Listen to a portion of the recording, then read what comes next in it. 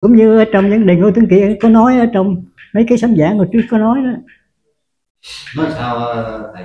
Có nói ờ, tôi không có coi kỹ nhưng mà trên mạng rồi nó nói là ông có có nói là tên Kiệt mà.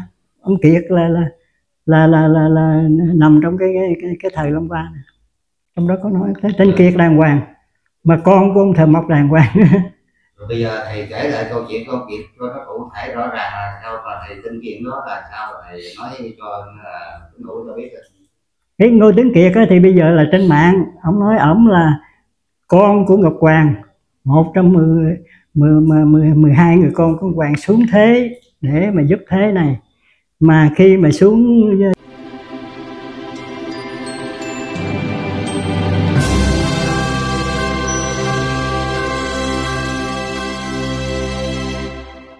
trên chuyển mà. Cái chỗ này là quý vị biết là chỗ này thờ cái gì không? Đó nếu mà đồng tử về là tôi hỏi thờ cái này thờ cái gì? Ở đó bắt đầu xuống bắt đầu mới nói giải thích. Mình mới nói chuyện được. Mà cái người nào có tâm linh đó thì vô đây mới biết được cái điện này thờ cái gì. Cái mặt nổi trước rồi còn cái mặt chìm nữa. Mà cái này mà Dũng mới vô nó không biết gì hết rồi vậy là không được là nó không đủ sức cái này là đền thờ là hồng bàng tức là lạc long vương phụ với hồng bàng tứ mẫu. Chữ này lạc long vương phụ hồng bàng tứ mẫu. Tức là thờ hùng dương. Đó.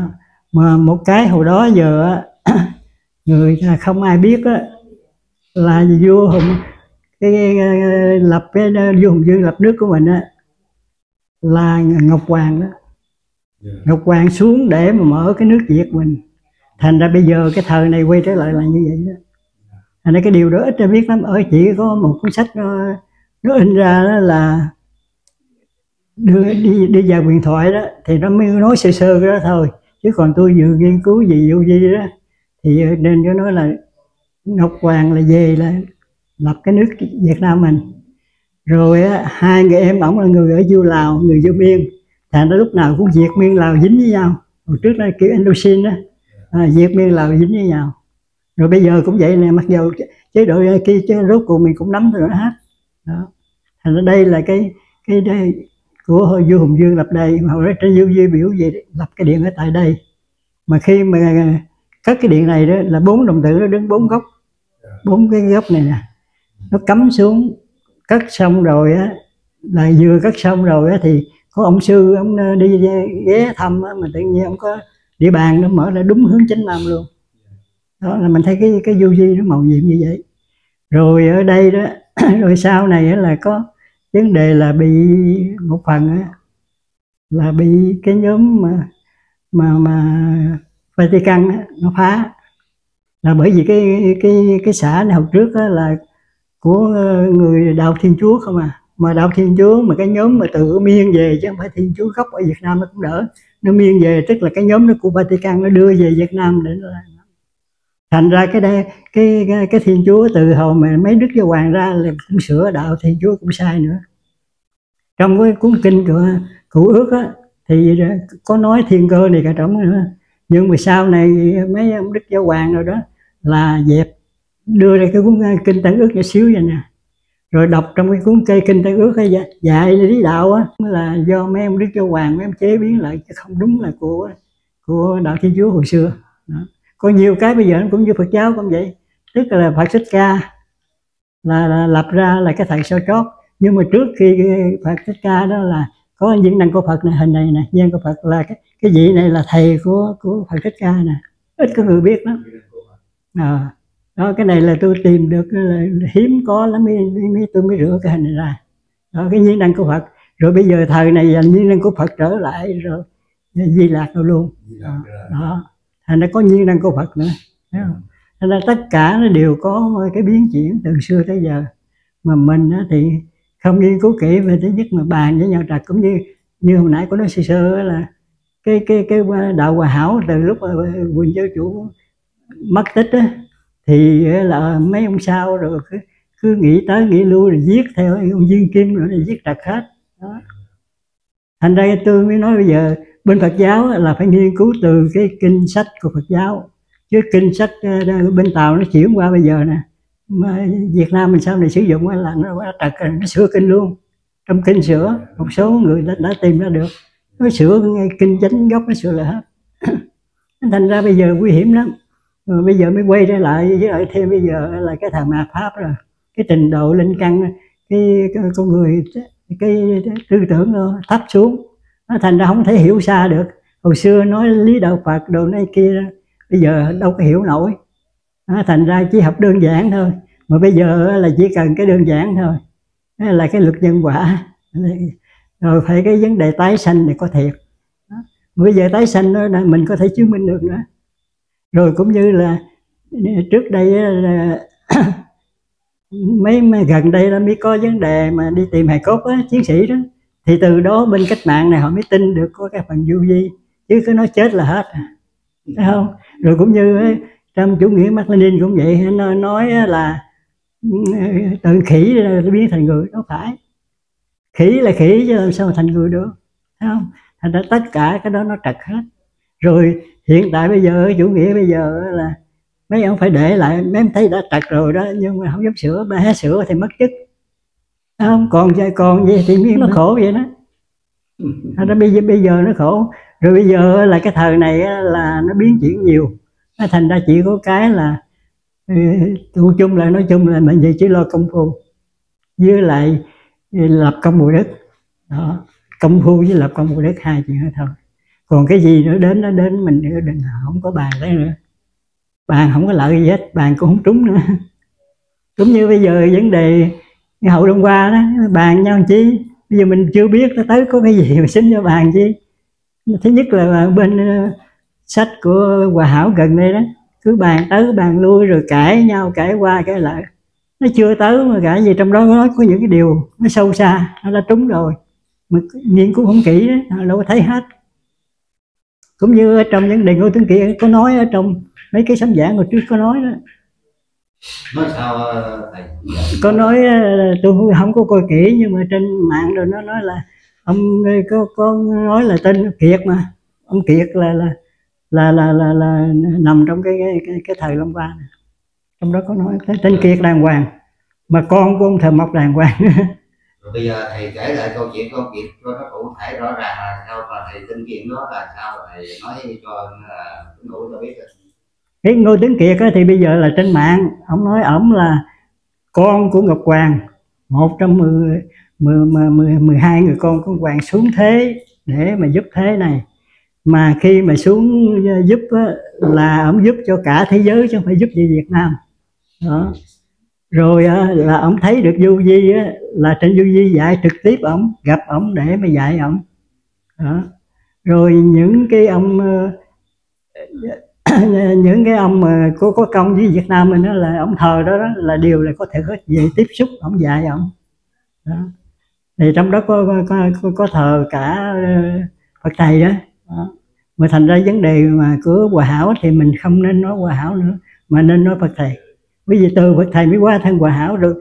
Những cái tín đồ hòa hảo với khúc sau này đó thời duyệt binh rồi đó, bắt đầu mới lập bộ đội này kia, nó mới chặt đi. Thành ra bây giờ hay nói hòa hảo lớn quá, nó lộn, cứ nói Vũ Sơn Kỳ Hương thôi. Bây giờ cái ờ, thầy phải dẫn dắt chứng minh chỗ nào mà Ngô Tấn Kiệt là người của thái tử là ở trên thiên đưa xuống là thế nào? Trong trong cái sấm sấm giảng ờ, của bên hòa hảo đó có có nói tên kiệt đàng hoàng. Có nói tên kiệt.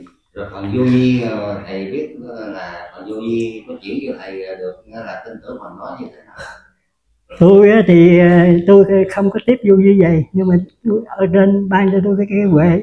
Dạ. trí huệ cái trí huệ ban nhà đó, thành ra tôi hiểu được tôi biết được dạ. tôi kiểm được Ờ, đó, cũng như tất cả những đây cái chuyện mà tôi nói hồi nãy giờ đó là giữa tôi nghiên cứu thực tế này kia rồi tôi phối hợp với cái trí huệ trên cho cái trí huệ bát nhã đó ờ, mà bên du di gọi là tứ huệ linh đó. Ừ, đó. thì tôi nhờ cái tứ huệ linh để mà tôi biết được những vấn đề du di dạ thì thầy cứ nói tiếp đi để cho cái người ta chưa hiểu bởi vì nhiều người người ta còn nói là giữa chánh giữa tà chưa phân biệt được. Ừ. bây giờ mình nghe là hiểu được thì mình chứng minh là thì nói gì thì, đó thì bây, bây giờ ví dụ bây giờ nói bây giờ nói ngô tiếng kiệt tà nói, nói sao? Tôi thì tôi thấy ông đúng nhưng mà ông nó nói chuyện đôi khi nó nó, nó hơi lòng vòng chút trúng tám phần trăm thôi. Dạ. nói như vậy. Tức là những cái chuyện ông tiếp vô vi là tôi tin là có thiệt ông ông nói là là có ờ, mấy hào quang đó đó là cũng có thiệt cũng như, như vợ ông đó là công chúa với thủy cung á cũng có thiệt. Bà đó thấy căn cơ cũng cao lắm đó, đẹp lắm. Vậy là thấy trong vô vi mà cái cái chứng minh nghĩa là bởi vì người đời bây giờ người ta chạy theo cái lợi. Đúng rồi. À, chứ không phải chạy theo cái cái cái cái cái, ờ, cái, ờ, duy tâm ừ. ta chỉ theo cái duy vật thôi. Đó. Nếu không mà- không nhưng mà điều bây giờ hãy nếu nói là tin di vật là sao trật rồi di vật nó đã trật rồi. Phải tin di, di, di tâm. Di vật là trật không có tin được. Mà hãy nói di vật là đã trật rồi. Nó cũng như nói chơi nói di vật là nói là là người ta không có linh hồn chết là hết. Rồi hoặc là từ khỉ biến ra con người nó trật rồi sao cái nó bỏ? Mình đừng xét nó nữa. Để ra bây giờ nếu có lời nói của thầy có giá trị hơn. Xin thầy giới thiệu về bản thân của mình cũng như nãy sẽ qua sơ lược thầy là từng là cử nhân dạng Phật học. Ừ. à, thành thử ra một trình độ là coi như là thầy cũng mới thầy nghĩa là trong ờ, Phật giáo rồi. À, à, thành thử ra xin thầy tự giới thiệu về mình để cái lời nói của mình có giá trị như thế nào xin thầy tự giới thiệu. Bây giờ tôi nói sơ cái cái quá khứ của tôi. Dạ. Là hồi nhỏ tôi đi học xong rồi học trường sư phạm. Dạ. Mà lúc đầu tôi vô cái học sư phạm cấp 1 thôi hồi đó là kêu quốc gia sư phạm đó rồi sau đó tôi mới đậu cái cái chứng chỉ cử nhân thì nó cho tôi qua giáo sư đệ nhất cấp. Dạ. Rồi sau đó tôi đậu luôn cử nhân. Thì nó đậu qua giáo sư đệ nhị cấp. Nhưng mà lúc đó tôi chưa chuyển qua đệ nhị cấp. Nhưng mà tôi tăng lương nó bằng như là giáo sư đệ nhị cấp. Đó. Thì trong khi đó đi đi dạy. Nhưng mà nó còn thêm cái này nữa ít người biết là cái ờ, lúc mà 68 đó mậu thân đâu đó trước mậu thân đó đã, đã phải tổng động viên. Thì tất cả giáo, giáo chức đều phải động viên tôi bị động viên. Rồi tôi vô trường ờ, thủ đức. Tôi ra trường cái khóa 27 cái khóa nó cũng xưa lắm rồi ha. Dạ. Rồi khi ra trường rồi tôi thấy nó nó màu nhiệm gì nữa nè. Khi mà tôi ờ, bị động viên đó má tôi ờ, bà đi coi bói. Cái ông thầy mù cái mà mà bà đưa tấm hình cái ông nói trời ông này có chữ sư trên trán sợ gì đó.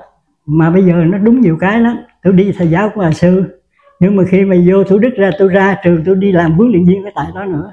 Đúng kỹ sư nữa. Rồi sau này là tôi viết sách nè, rồi bên Phật giáo nó phải mời tôi đi dạy cho Phật giáo nữa. Tôi là thầy của mấy ông sư luôn. Rồi trong cái trường có trường Đại Tùng Lâm này, mấy trường cao đẳng ở Đồng Nai. Rồi mới gần năm 2010 đó là Đại học Phật giáo tại thành phố Hồ Chí Minh nó mời tôi dạy cử nhân mấy tăng ni đó tốt nghiệp đó ra làm cử nhân. Mà trong đó là có những cái tăng ni sinh từ ngoài Bắc vô tất cả trong nước về đó. Học là mấy ngàn tăng ni sinh học với tôi. Đó, nhưng mà rồi trong cái lúc mà tôi dạy thì tôi phát hiện được nhiều cái nó sai trái trong đó. Rồi lại đôi khi là tôi giảng tôi nói nó độc chạm tới mấy ông hòa thượng lớn ở trong trong đại học. Thứ nhất là tôi chỗ tôi nói này là thành ông đi quản đồ á, sao, sau này ổng ổng mới đụng với tôi trước đầu là tôi viết sách cho ông à. cái ờ, tôi nói đã, coi kinh á, là nói với giảng cho mấy tăng ni á. Là, là bên đà của cháu.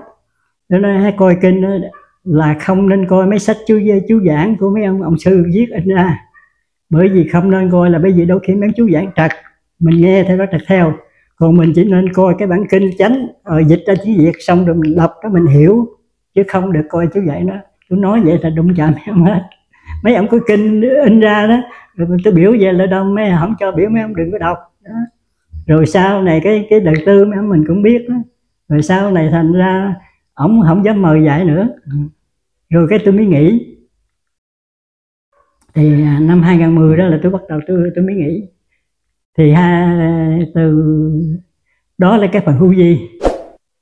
Rồi khi mà tôi đi vô như hồi nãy tôi nói là tôi à, rồi má tôi nói có chữ sư anh đáng là tôi ra làm huấn luyện viên tại đó. Rồi sau đó là cái lúc mà bên Phật ờ, Phật giáo lại thiếu người trở lại nó mới cho biệt khóa trở về. Thì tôi trở về dạy học. Thì khi tôi đã về dạy học thì cái cấp bậc trong trong nguyên đội tôi là thiếu quý.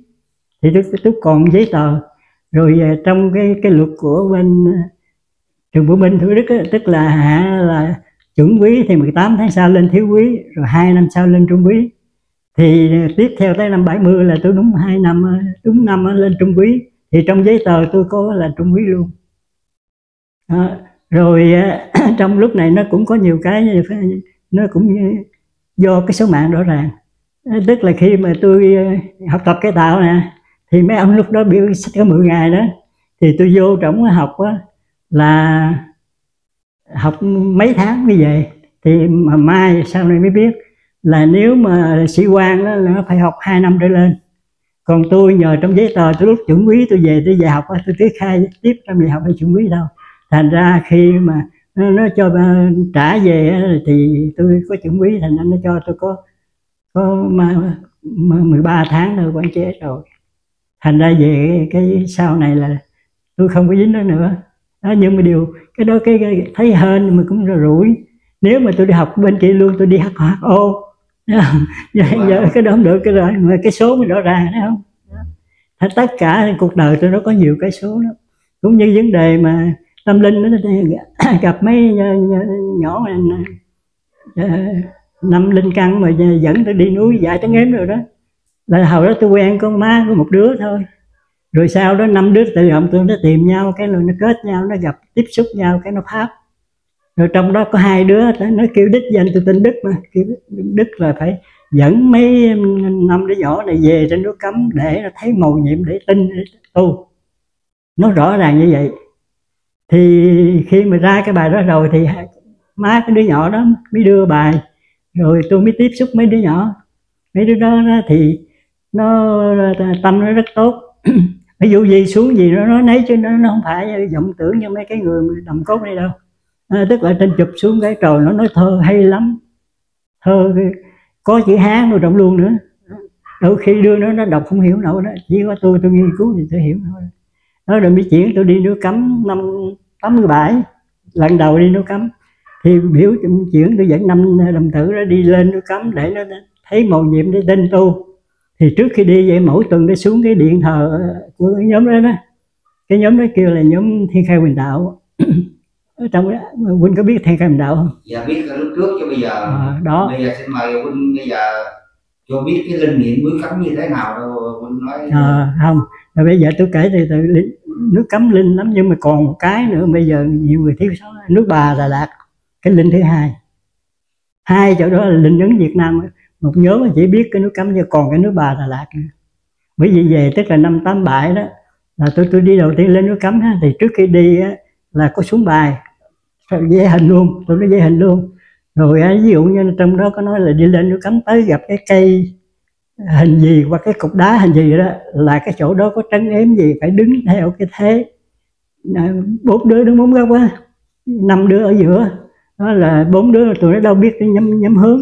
Trong bài có nói hướng mà đâu biết thành ra tôi phải phải có để mà tôi mới chỉ nó được. Đó, tức là ở trên cũng chuyển là là là mà cũng nhờ cái hồi đó đi đi quân đội đó mới biết được cái coi địa bàn mới, mới biết ban đầu hướng nào.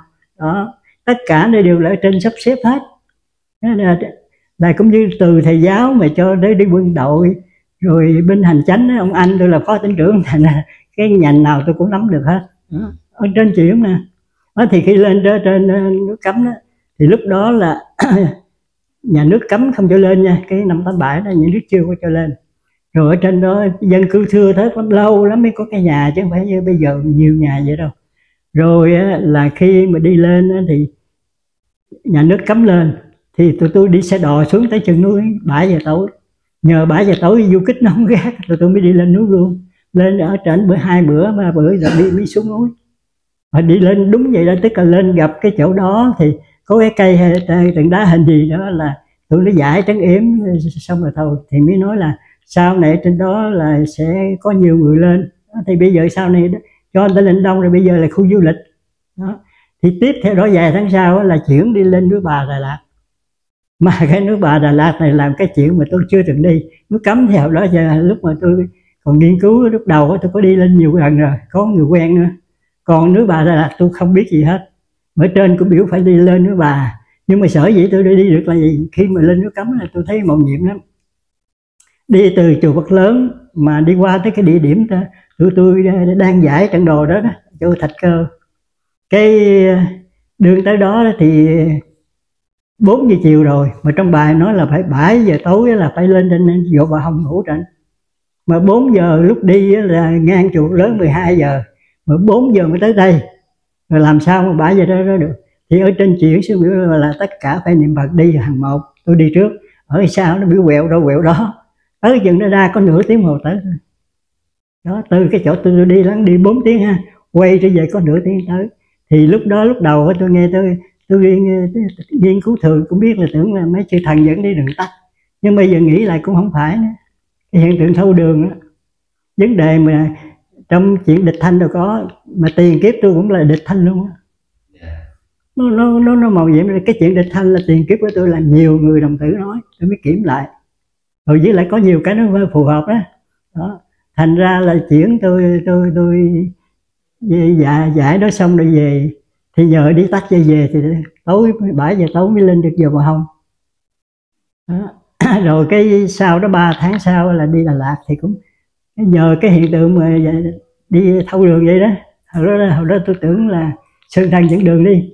Thành ra khi mà biểu đi Đà Lạt tôi cũng không ngán nữa đi năm đứa mình lên cái bây giờ lên tới đó ra mới biết á là từ Đà Lạt mà qua tới nước Bà là, 10 cây số. Một ngày nó chỉ có một chiếc xe thôi. Mà khi mà đi đó là bão số 2 nó đang tới nữa. Mà trong vấn đề ở tâm linh đó là khi mà giải trận đồ đó là thường thường gặp mưa bão. Đó. Thành ra đi lên trên núi, núi bà đó là cũng vậy cũng vẽ gì giống y như vậy. Rồi nói ở trên đó là cái điện ngọc hoàng thành ra núi bà là thờ ngọc hoàng đó. cái do dù cấm là thờ vui dây lạc chứ cái điện ngọc hoàng là thờ ở trên núi bà là bây giờ vui gì ít tôi biết mà lên trển đó và cho tôi tôi khai mở cái điện, tôi có viết chữ ở trên đó nữa. Rồi sau này cũng nói là sau này có nhiều người đông. Cái lúc mà tụi tôi đi là từ ở bến xe đi vô tới cái núi bà đó là hai cây số đi đường bộ. Mà nó cái cái rừng thông á, cũng dễ đi vô tới đó rồi bắt đầu đi lên núi. Thì trên lúc đó trên núi là chỉ có người thượng thôi. Ban ngày là họ đi lên núi họ, họ, họ chặt cây để, để đốt than rồi cái họ về. Sáng hôm sau họ mới lên.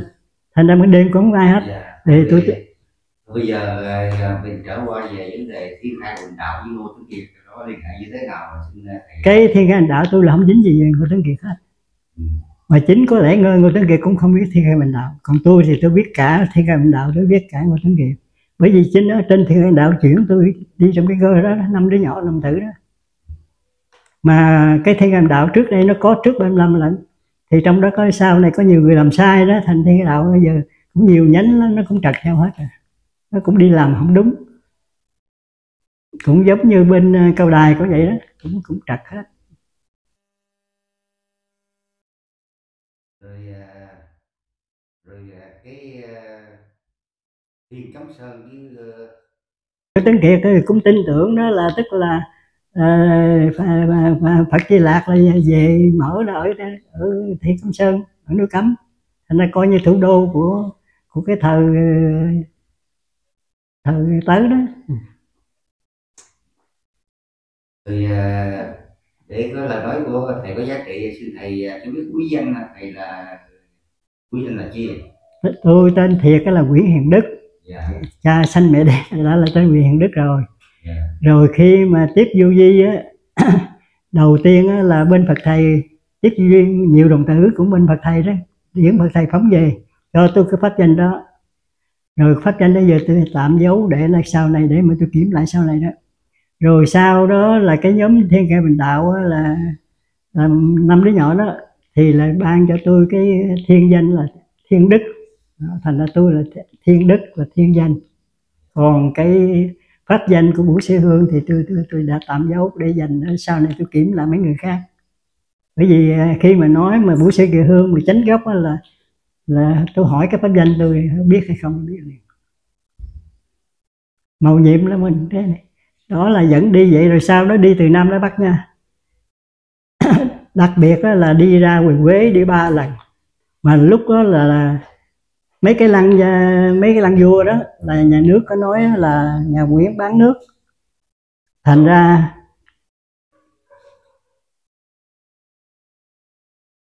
dạ thì ờ, trong ờ, quá trình như vậy mọi chuyện nó nhiều lắm. Như tôi nói là nội cái cái, cái mà đơn giản nhất á, là miếng đất này là ơn trên cho tôi đó. Cái năm về đây là năm 96 đó là tôi ở trên ờ, biên hòa lúc đó sống thì con tôi lúc đó nó ở ngoại quốc ở đức. Cái sau đó có cái vấn đề là lục đục ở trong ờ, bên ngoài đó, đó. Thành ra nó không chịu ờ, gửi tiền gì cho tôi nữa. Thì tôi mới phải gom tay tính gom tiền mua đất đặng mê mới sống chứ giờ nó không có nuôi làm sao sống. Ở biên hòa lúc đó không có làm nghề gì hết. Cái hơn đó là cái nhà đó hồi đó là tôi mướn của nhà nước nhà nước lấy đất của tư, tư sản gì đó lung tung á. Rồi mới cho tôi mướn thì lúc đó có giá. Thì lúc mà tôi cho mướn thì có người kia họ mới sang tôi lại đặng họ mua. Họ, tôi đi chuyển cho họ đó đặng mà họ mua cái nhà nó rẻ. Đó thì họ họ đưa cho tôi một cây rưỡi. Đó tôi mới gom về để mới mua miếng đất miếng miếng, miếng đất này nè. Mà hồi đó gom hết đó là chỉ chỉ mua được miếng đất này miếng đất này bây giờ là cũng giá trị lắm rồi. Rồi, bây giờ nó là mấy tỷ rồi đó. Ngộ bán miếng trước không là tỷ mấy rồi cỡ miếng trước chút gần đó nữa là 2 tỷ nữa rồi. Thấy không? Đó. Rồi cũng như là lúc lúc đầu là còn còn sức khỏe đó, trồng nhãn như lan trồng nhãn cái thất bại, nhãn nhãn tiêu cái thất thất bại, cái chuyển qua nhãn xuồng. Thì khi chuyển qua nhãn xuồng cái nó chết mới nó mới trồng thêm điều. Thành ra trong này vừa nhãn vừa điều thì lúc đó bà xã là tội nghiệp, bà cực lắm, bà chịu cực lắm. Tưới nước rồi bà cực lắm rồi xịt thuốc này kia nữa, đủ thứ hết. Nhờ vậy mới quê quê lại sống riết. Cho tới sau này cái lúc mà cách này mấy năm là bà cũng yếu, tôi cũng yếu rồi. Tôi làm gì được, thành mới bán cái đất trước. Bắt đầu mới lấy tiền đó sống. Rồi sau đó bà chết. Bây giờ còn những cái điều gì mà trong ờ, nghĩa là linh thiên báo về cái thời cuộc sắp tới như thế nào ờ? thì đó, thì hồi nãy nói giờ nó cũng giống nhau hơn ngô tấn kiệt nói cũng đúng. Bây giờ nó sắp sửa tới cái thời long qua thì long qua có phật di lạc ra thì lúc đó mình mới biết được chứ bây giờ không ai biết hết. Cũng như lúc đó là sau này sẽ sẽ giàu có mà tôi tin chắc là trong những cái kho tàng mẫu quý tụi tôi đi nghiên cứu trong trong nước này đó, còn nhiều dưới lòng đất đặc biệt là nước cấm. Không cả nước luôn chứ phải nước cấm không? Nước cấm là ít thôi. Còn nhiều nước. Nó cũng như ngài ở quế rồi ở, ở núi tam đảo núi tăng viên huệ bắc tụi tôi ra dạy trắng nghiến bể hết. Là Việt Nam mình là giàu dữ lắm ờ, sau này giàu lắm? Chưa chưa chưa kể mà trong trong đó có những cái ơn trên ơn trên cho mình. Cũng như cái nói là hồi xưa là khi hồng dương mất ờ, truyền lại cho mấy chế độ sau này đó thì mà, vô trong nam thành mới lập nước ờ, cái bà nữ chương nó mới lấy ngưỡng độ mới lập nước phù nam nước phù nam là phò nhà nam đó. cái phù nam là nước việt nam mình tiếp theo đó, đó thành ra phù nam đó. lúc đó là mấy ông ờ, vua với mấy quan giỏi lắm đánh giặc chiếm á chiếm dọc đây qua vô tới Indonesia luôn nó thành ra phụ nam nó còn nhiều cái vấn đề lắm thôi để cho mấy ông ông ông ông, ông đi Dạ, kính thưa quý vị, à, câu chuyện uh, tiếp xúc với uh, giáo sư Phật học Nguyễn Hữu Đức. À, Nguyễn Hiền Đức không mà đừng đừng có nói giáo sư Phật học vậy trời, nói Nguyễn Thiên Đức rồi, nếu mà nói tâm linh thì nói Thiên Đức. Của giáo sư của chế độ trước, ừ. có nghiên cứu Phật pháp rất, rất nhiều. Bữa nay có nói bộc bạch tất cả những quyền linh mà của chú Ngô Tuấn Kiệt. Mà sắp mà trở về nước Việt Nam để thành lập uh, một uh, cái triều đại uh, là con rồng cháu tiên phải không thầy? Của thầy Di Lạc đó Đức thầy Di Lạc ừ. đó là vấn đề mộ nhiệm mà thầy đã nghiên cứu kỹ. Ừ. à, xin thầy cho một lời nói cuối cùng để chào khán giả thầy. À, thì bây giờ đó là cái căn bản bây giờ của mình đó là cái cái thời long qua nó sẽ sắp sẽ tới. Thì bây giờ mình cứ việc lo công phu tu tập lập công bồ đức đó để mà chờ cái hậu long qua tới thôi chứ đừng có bàn cãi gì hết cho nó mệt. Bây giờ không ai không ai biết được hết. Dạ rồi thành này cảm ơn. Xin chào quý vị